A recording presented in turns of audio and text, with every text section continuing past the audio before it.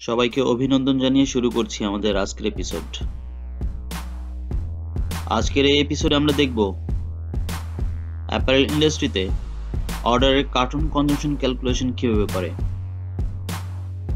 সাধারণত কার্টুনের জন্য বায়ারের পক্ষ থেকে একটি মেজারমেন্ট দিয়ে দেওয়া হয়। বায়ার নির্ধারিত মেজারমেন্ট থেকেই আমাদের ক্যালকুলেট করে বের করতে হবে যে অর্ডার বাস্তবায়নের জন্য কত স্কোয়ার মিটার প্লাইউড দরকার। তাহলে চলুন দেখে নিই। এখানে একটি কার্টুন মেজারমেন্ট শিট দেওয়া হলো। এই মেজারমেন্টের আলোকেই আমরা ক্যালকুলেশনটি করব। প্লাইবোর্ড ব্যবহার করি মূলত কার্টুন বক্স তৈরি করা হয়। So carton consumption refers consumption of plyboard আমরা প্রথমে এক পিস কার্টুনে কত স্কোয়ার মিটার সেভেন প্লাইবোর্ড প্রয়োজন সেটা বের করব।